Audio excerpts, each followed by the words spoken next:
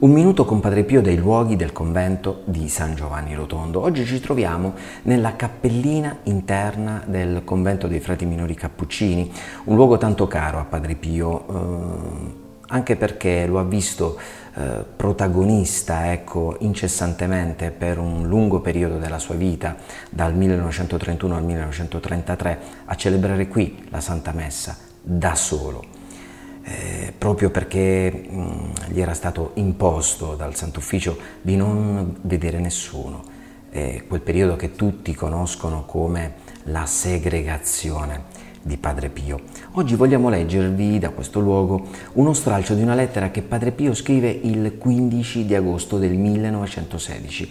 Si trovava a Foggia, era già stato qui per um, qualche giorno, ma poi è dovuto tornare a Foggia perché non aveva il permesso eh, di poter stare qui, anche se eh, qualche giorno prima aveva scritto al suo ministro provinciale e aveva chiesto di partire per San Giovanni Rotondo perché qui si trovava bene. Era stato il 28 di luglio, eh, ma poi dopo aver trascorso una, una breve settimana qui a San Giovanni Rotondo è tornato a Foggia, quindi ha scritto al ministro provinciale chiedendo di eh, restare, ecco, eh, mandatemi a San Giovanni Rotondo perché così vuole il Signore. E allora mh, qualche giorno dopo, il 15 di agosto del 1916, eh, sempre dal convento dei frati minori cappuccini di Sant'Anna a Foggia, Padre Pio scrive a Padre Agostino mio carissimo Padre, la Vergine Santissima di cui oggi tutta la Chiesa eh, ne festeggia l'assunzione al cielo, vi conforti sempre e vi scampi da ogni pericolo. Chi può mai degnamente ringraziarvi delle assidue notizie che sono state sempre ottime, che mi avete finora regalate? A me mancano le parole adatte per farlo, ma il cuore però supplisce a tutto. Assieme alle anime elette vi accompagniamo dovunque con la fervida ed assidua preghiera davanti a Gesù.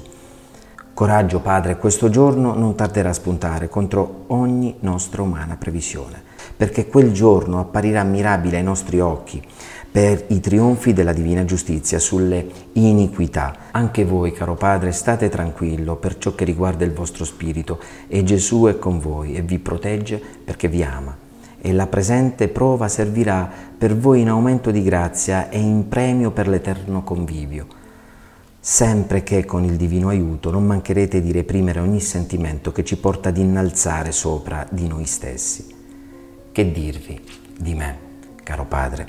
Sono un mistero a me stesso e se mi reggo sì è perché il buon Dio ha riservato l'ultima e più sicura parola all'autorità su questa terra e che non vi è norma più fedele del volere e del desiderio del superiore.